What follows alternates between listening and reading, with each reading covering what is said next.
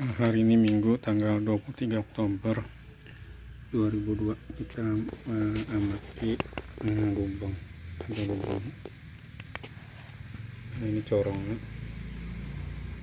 Nah, mungkin ini diambil lagi uh, resinnya sebab sudah dibuat jalur yang lain. Jadi ini memang tidak berguna uh, mereka mereka ambil lagi res, uh, resinnya karena sudah dibuat jalur yang baru.